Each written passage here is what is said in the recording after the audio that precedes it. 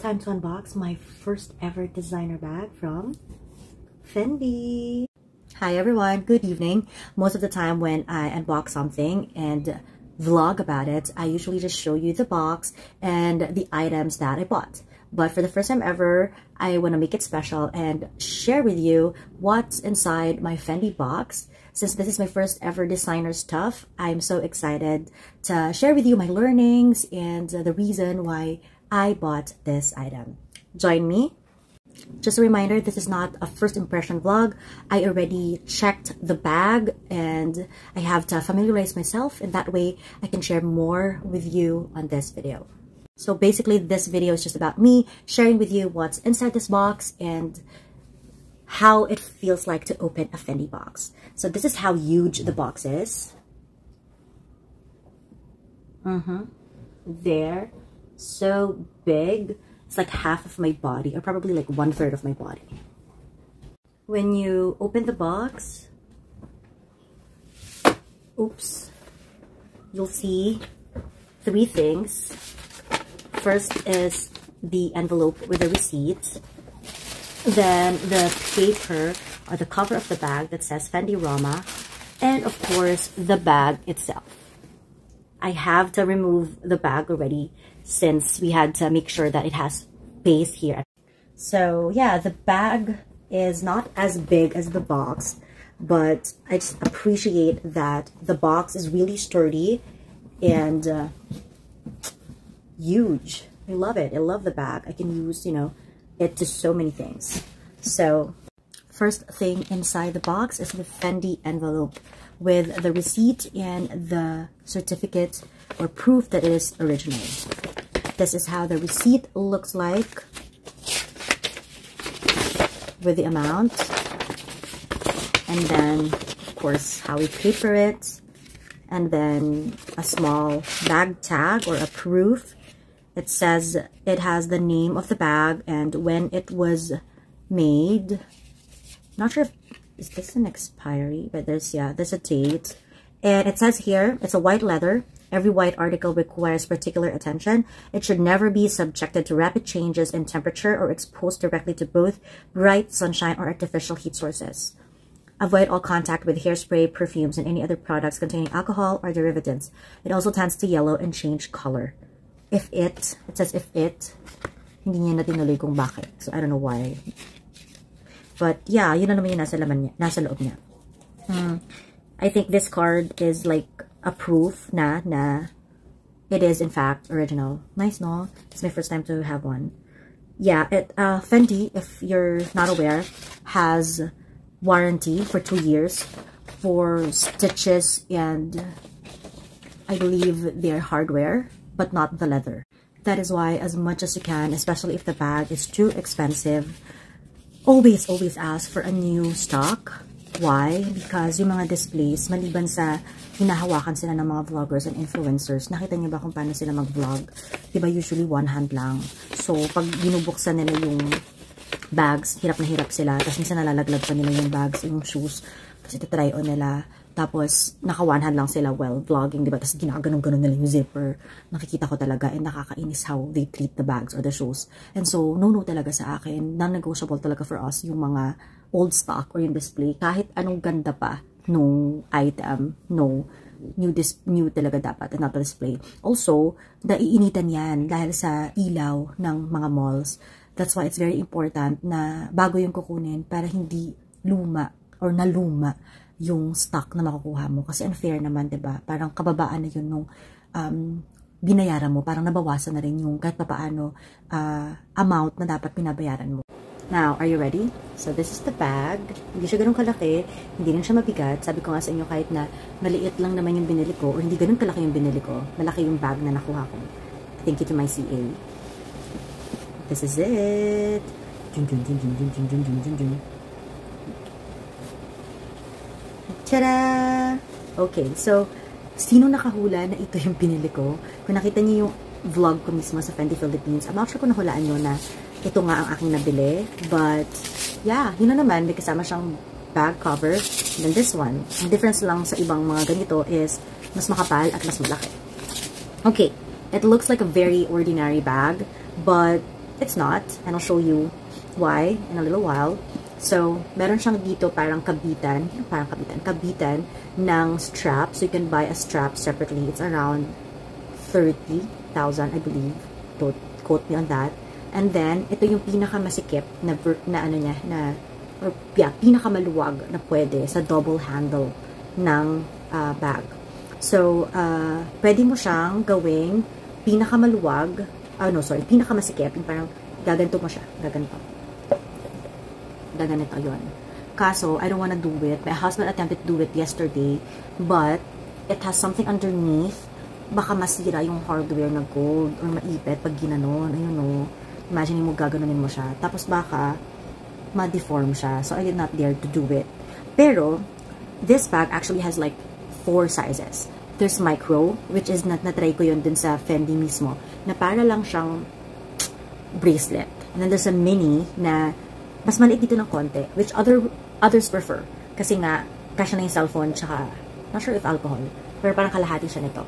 And then this is the Fendi Graffiti Small, which will fit, I think, my wallet, my bag, I mean bag, my wallet, my cell phone, and alcohol.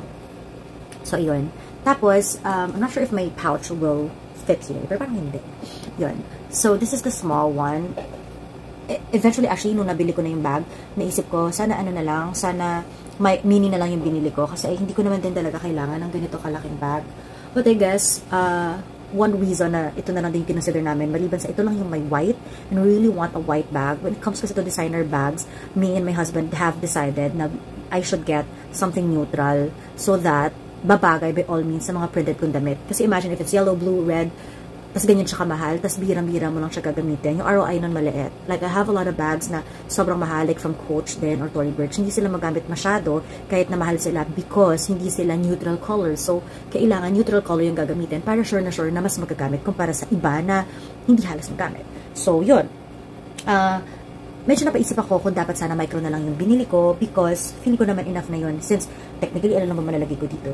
Pero okay lang din naman kasi I think one, at least kasha rito yung wallet and two, kitang-kita mo yung Fendi. So, tinanggal ko na yung sticker niya, guys. Always, always remove the sticker underneath ng mga bakal-bakal. Also, if it's like, uh, you know, yung mga ano uh, appliances. Kasi yung TV namin, hindi namin tinanggal yung plastic niya. And then eventually, after a few months, turning to a year, nasunog or parang nagmelt yung plastic sa loob ng TV sa sobrang init. So, always, always remove yung mga plastic na accessories. Huwag kang manghinayang na parang feeling mo, ah, it looks good, hindi siya masa-scratch, hindi naman din siya obvious, let's not remove it. No, remove it. Remove it. Damihin mo na may bago kang bag. Sa'yo yan at makakabili ka pa ng bago. Remove it, girl. How heavy is the bag together with the paper bag? It is heavy. Una, ito yung pinaka-sturdy and biggest bag I ever have. I have Hermes, Chanel, Dior, you know, yung ibang pang boxes And so far, ito yung pinaka-mabigat. Ito yung pinaka-sturdy, para siyang kahoy. At uh, I think pwede siya upuan ng bata, ng mga 5 years old. And sobrang sturdy niya. Yun nga lang, when you open it, mapapansin mo din na yung kanyang parang, yung pag binuksan mo na siya, ayan, ito. Pag binuksan mo na siya, hindi na siya ganun ka-sturdy. Ayan, here, on this set. On this side, hindi na siya ganun ka-sturdy. Ayan, hindi na siya ganun. Malambot tong side na to. And um, sturdy, yung part na to, pating sa likod and sa front, but yung mga gilid-gilid, yun yung pwedeng lumambot. So, hindi pa rin siya pwedeng gawing. Pero, um, nice talaga siya as container ng mga stuff. Like, probably shoes, I don't know. But yeah, definitely my sturdiest uh, box ever. And I love that. Um, hindi, alam ba na sa sobrang bigat niya, hindi mo siya pwedeng dalhin na yung parang sway-sway ka pa, or parang ibaba mo yung arms mo, tapos bubuhati mo siyang ganon, mapupunit yung paper bag, or probably sasayad siya sa baba, kasi sobrang bigat niya. Uh, the best way to carry it, the paper bag and the box, is to really put your arms up and then bubuhatin siya nakaganon. Kasi mabigat talaga yung box and the bag itself. So, hindi kakayanin na uh, nakababa yung arms mo. Kailangan talaga naka-effort ka. Or else masisira yung paper bag or the box. Makakalat ka. Now, let's move on to the bag.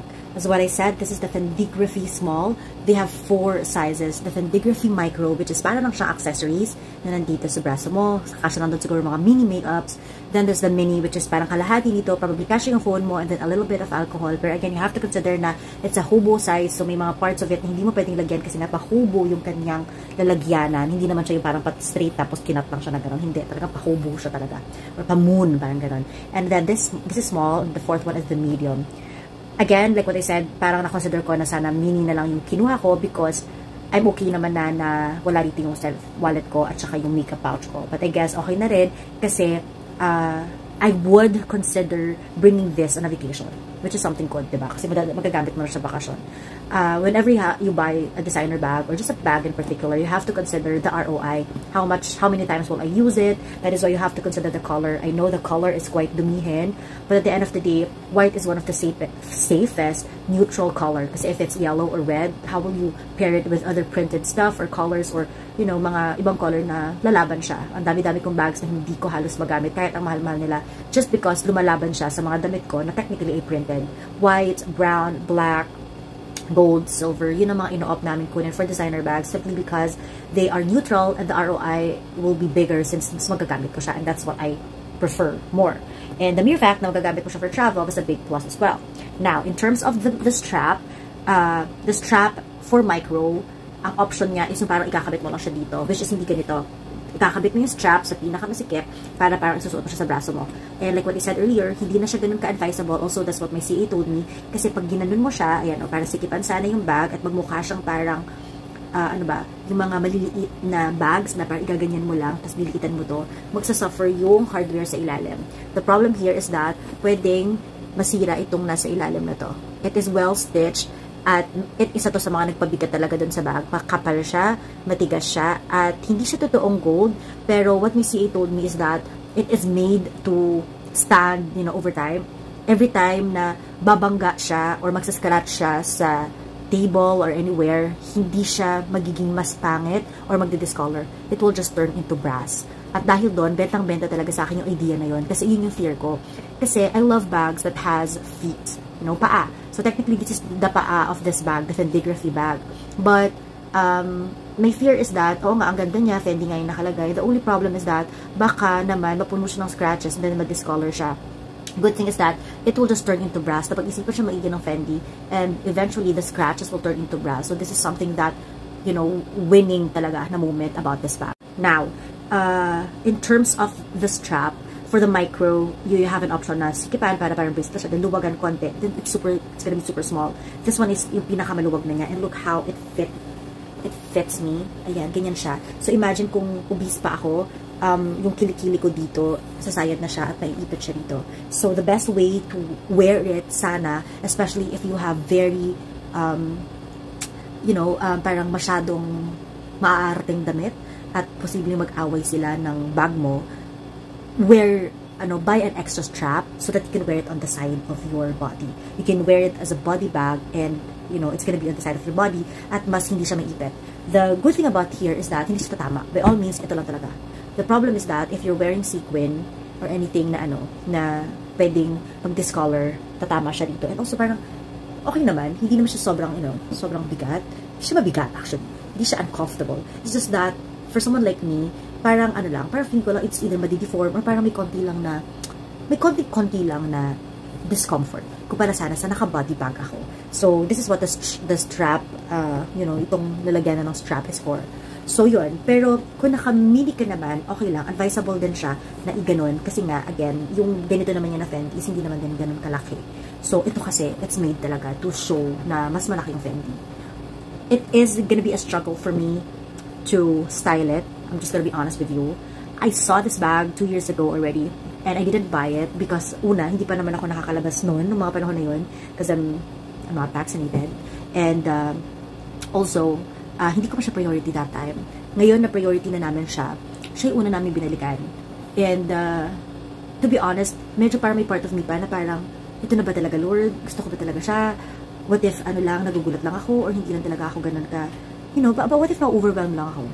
And uh, God showed me some signs naman na it is, you know, the perfect bag already. Like una, may new stock nga at new stock naman talaga siya. uh, meron nga siyang mga plastic pa here and also here. And second, uh, the CA was very nice to, to us. And finally, magkakaroon nga sila ng price increase na this coming week. And so, saktong-sakto lang yung pagbili ko kasi last week ko lang siya binili. And finally, I really want a white bag. So, and comfortable naman ako sa kanya. So, okay naman. Some things now to take note of. Nagkamali ako dito. Since I was really, really overwhelmed that day and uh, parang overstimulated ako, hindi ko alam kung anong parang, syempre ang laki, ang laki nung halaga na bibilhin at hindi ako sanay, in all honesty. So, uh, medyo natulalay ako. Ang usual na ako, kung tatatlong libo, apat na libo per item, or, you know, by all means, ang una kong gagawin is to check the item. Pero lately kasi, dahil nasanay ako magpa-deliver ng bags, like in Tory Burch, we bought like four bags, siguro parang almost 100 plus din yun. Uh, hindi ko naman na-check kasi nga online yun at pinadala lang sa amin. So, nasanay na lang ako na ganun. So, siguro ito, nakalimutan ko mas mahal pa siya ron. And, uh, hindi ko siya chinek. And pag check ko dito, I already had a bad feeling kasi nga hindi ako vaccinated. So, hindi ako pwedeng mawak ng mga gamit. Hindi ko siya na-check thoroughly. Hindi ko siya na-check at all dun sa Fendi store.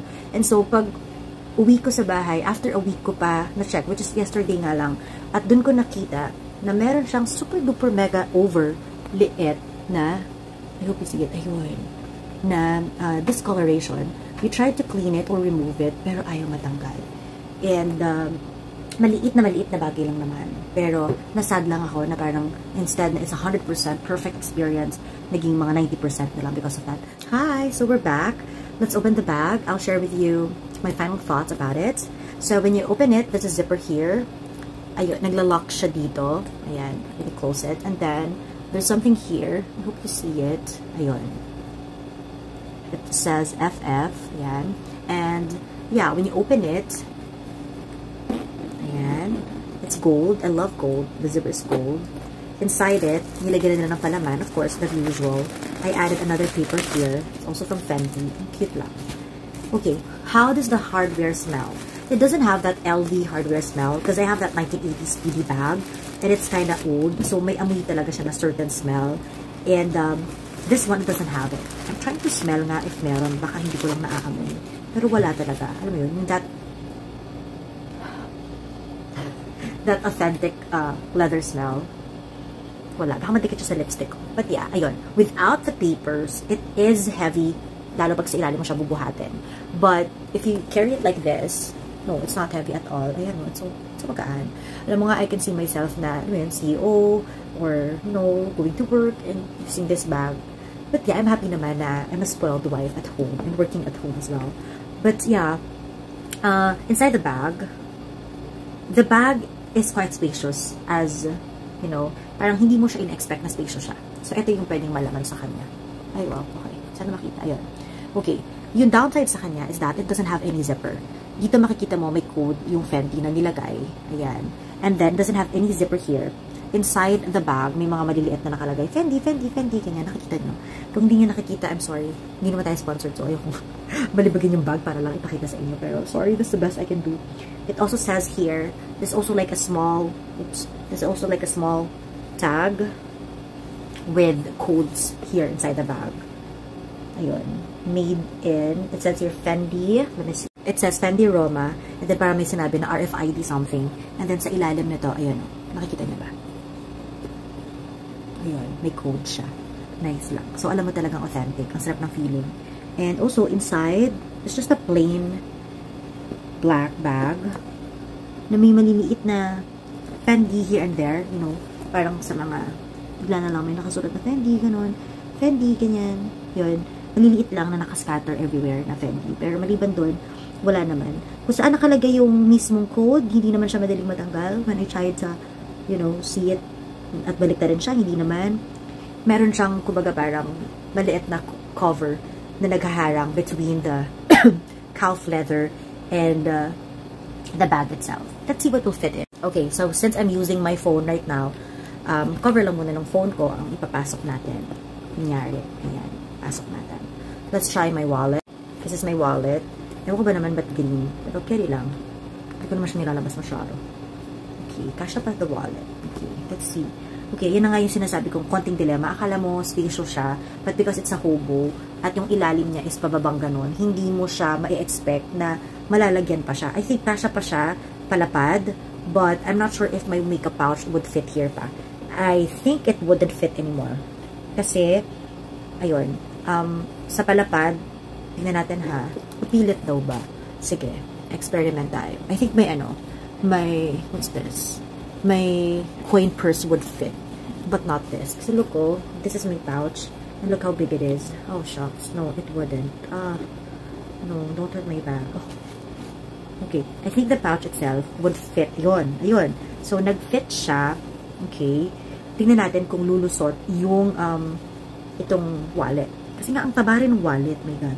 Ayun. Okay, it's gonna be either or.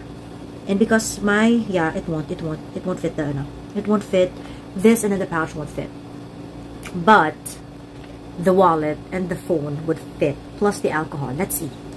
Kasi nga, yung mga pouch ko, it should be, you know, complete to the point na if something happens na hindi kami nakauwi agad at kinailangan kong mag-overnight, yung makeup ko would be sufficient, sufficient would be sufficient na at mag-work na makapag-makeup ako kahit na ganun.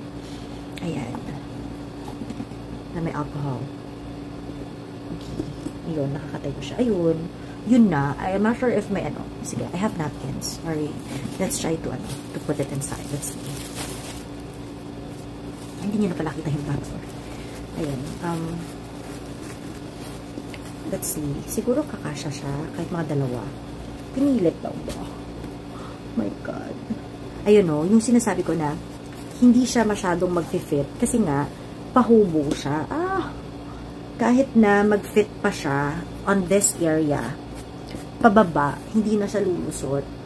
Kasi, um, dito, sa area na to pababa, wala na siyang space. Yan ang mga tricky, you know, things about hobo bags or moon bags na napansin ko. Let's try removing muna the cover of my phone. And then let's see if the napkin would fit. But I think it won't talaga yun.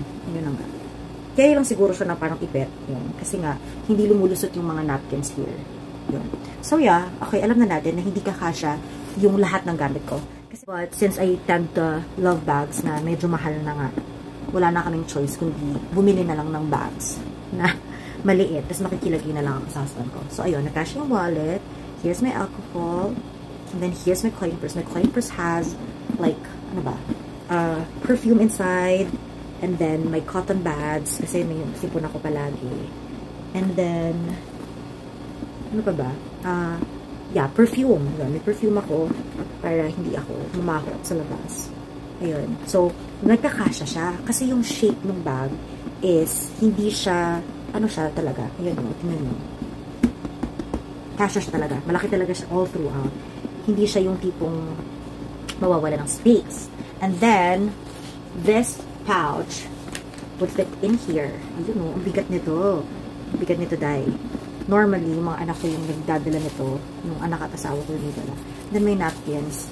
Gusto ko nag, ready lang, gusto niyo yung ready lang tayo palagi. Okay, saan ko nga ba ito ilalagay? Ayun, nag-ayos talaga ng bag sa online. But yeah, ayun. And then, I have comb. Uh, may, may normal kikay stuff and they all fit here in my bag. So, let's just say, nilagay na natin yung ating bag. Isiseal ko na itong bag. This is a pocket bag, may mic, course. I love pocket bags, pero medyo nakakadala lang to kasi the problem ko sa mga pocket bags is that, ayan, di ba, nakasara siya. Minsan, if you don't seal it really well, if you don't close it really well, ayan, tendency mag-open siya dito at manakawan ka. Buti na lang this one is really spacious and uh, cute no, no Chanel. And, uh, hindi na, nasisiko naman siya ng maigi. Pero kasi pag nagmamadali ako, ko siya close ng maigi. Ayun. And then, after losing weight, uh, kinailangan ko nang i-move yung mga bags ko, mga bag straps ko, sa pinaka masikip because yung pinaka maluwag ay parang masyado ng maluwag or masyado ng mababa for me. So, because I lost weight, parang mas, ayan, mas kaya ko na yung ganun. Ayun.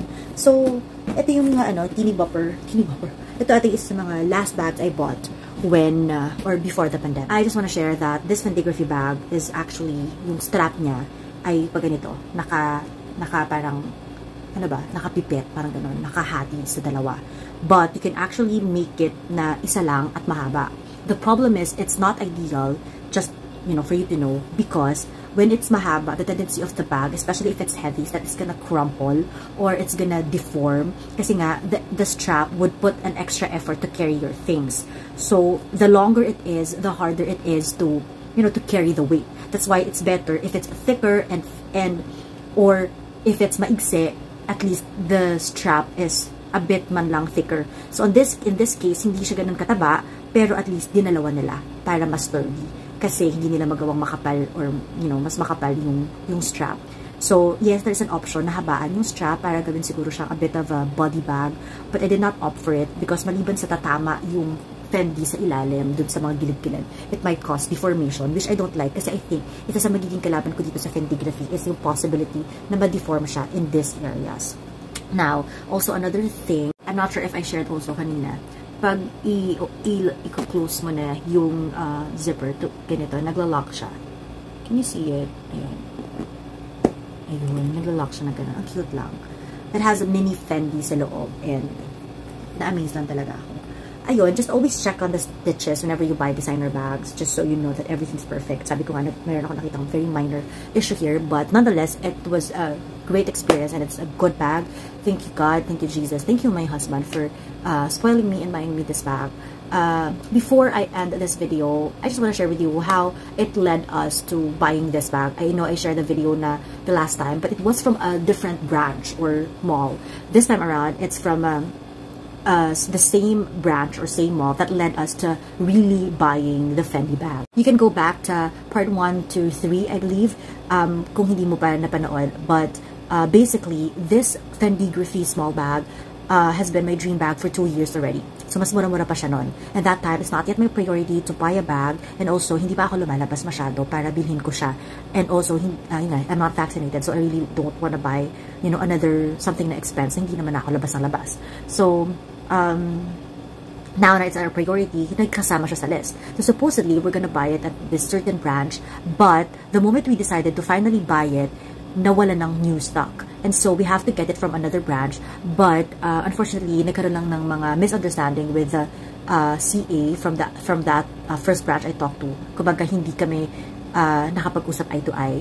And um, I said, I told my husband, let's just try the bag first. Because I haven't seen it in person yet. Kasi nga, ang plano ko talagang bilhin na bag is from Prada. And sa totoo lang, I was really sure that it's already gonna be my first ever luxury brand As in, I dreamt about it. I, I, buti na lang hindi ko siya binili. Sa totoo lang, it was a really good bag, but it's not a good investment. And in terms of buying, yun nga, nasabi ko to sa vlog ko, in terms of buying designer bags, you really have to make sure that the price increases in time. Because if not, it's gonna, the price is gonna deteriorate in time and it's not gonna be a good investment. Pumunta kami sa different brands, like we checked on Givenchy. I love it, but the problem is that wala silang new stock. Display lang yung meron sila. And also, um, yung display is really a bad stock already.